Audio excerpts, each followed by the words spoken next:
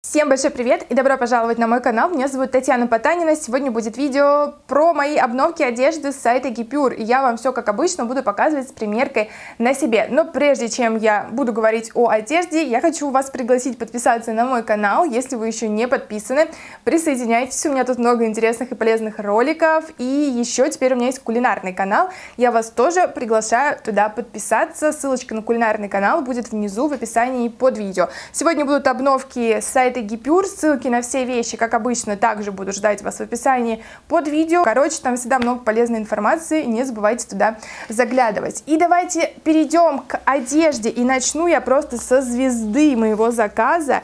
Это искусственная шубка в потрясающе красивом голубом цвете. Я, собственно, эту шубку выбрала в первую очередь именно из-за цвета. Я обожаю все оттенки синего, голубого. Это мои самые-самые любимые цвета. И, конечно, этот цвет цвет меня ну просто покорил. Помимо потрясающего цвета у этой шубы еще и качество классное. Мех здесь очень такой густой, плотный, мягкий. С виду она, знаете, на что похожа? На мех кролика. И на ощупь тоже. Она прям супер мягкая, шелковистая. Я когда ее первый раз одела, я прям не могла остановиться ее гладить. Я прям все ее гладила и гладила.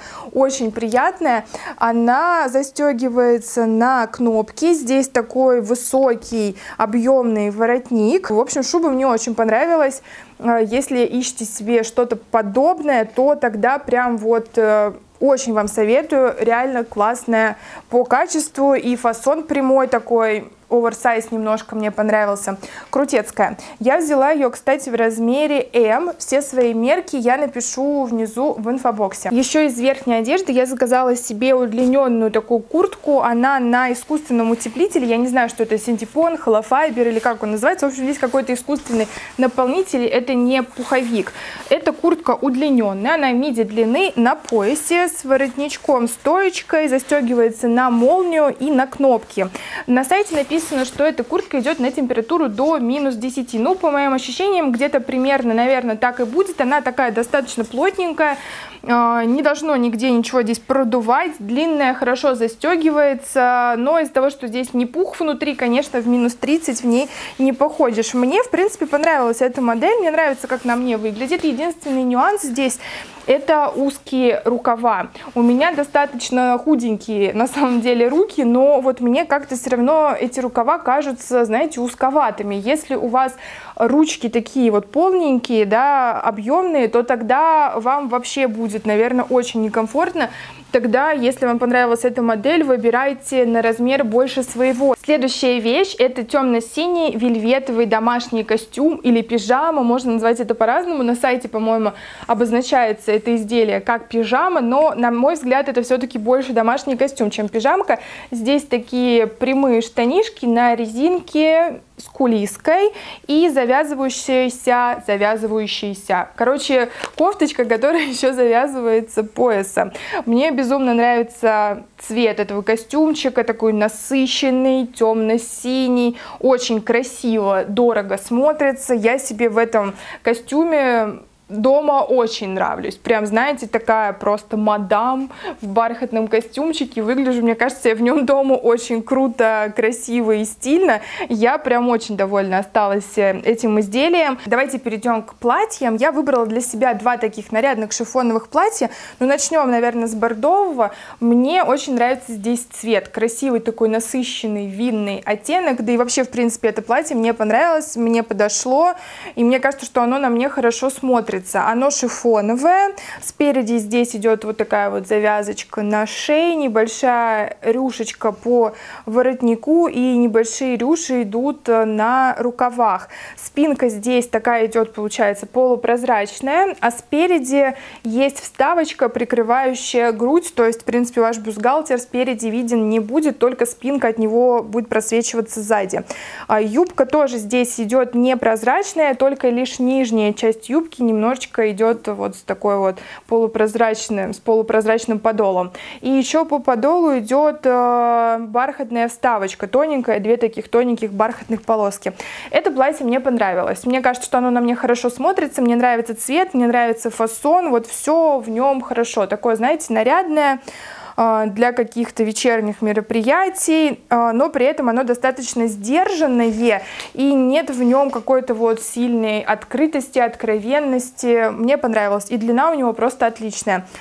А вот с этим платьем я немножко прогадала. Я не думала, что у него будет такое откровенное декольте. Там, конечно, на сайте написано, что у него глубокое декольте, но я думала, что это будет что-то типа того, что у меня сейчас. Но тут на самом деле такое декольте, что всем декольте, декольте. Ну а так, в целом, по качеству к платью у меня претензий никаких нет. Оно хорошо сшито, здесь приятный такой мягкий шифон, здесь хорошие шовчики, нет никаких ниточек. Вообще вообще у меня гипюр никогда не бывает вопросов по качеству, всегда все приходит хорошее. Мне ни разу не приходило что-то прям плохого качества с торчащими нитками, как это бывает с китайскими интернет-магазинами. Кожаные брючки-леггинсы, я бы скорее назвала их не леггинсами, а брюками, но, по-моему, на сайте они обозначаются как леггинсы, сделанные из искусственной кожи, очень такая мягкая, приятная искусственная кожа, немножечко, тян... немножечко она тянется, а, снизу здесь не слишком узкие штанины, никакой молнии на штанинах нет, как это часто бывает с такими вот кожаными леггинсами. А, мне они понравились, они на такой слегка завышенной талии, не, не очень здесь высокая талия, но и не низкая. Это, наверное, знаете, скорее даже средняя посадка, я бы сказала, чем э, завышенная. Здесь интересная застежка, спереди просто идет одна молния, все, больше ничего нет, никаких ни пуговиц, э, ничего, просто одна молния.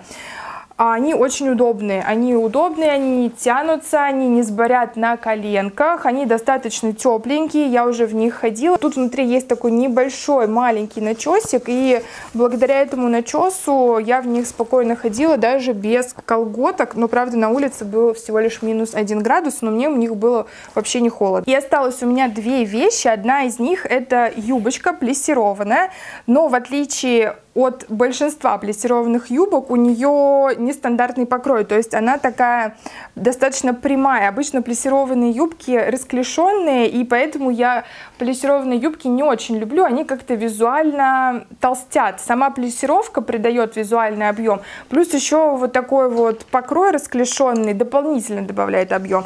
Тут же покрой идет прямой, и из-за этого мне не кажется, что эта юбка меня толстит. Хотя, кстати, пишите в комментариях, как вы думаете, полнит она меня или не полнит. А, мне нравится очень цвет, такой универсальный бежевый оттенок. А, в принципе, к этой юбке можно много что придумать наверх и с обувью с разной она будет хорошо сочетаться. В общем, такая, знаете, универсальная рабочая лошадка. И в пир, и в мир везде можно носить. И последняя вещь в моем заказе это блузка в стиле 80-х с такими вот рукавами-фонариками из атласного материала.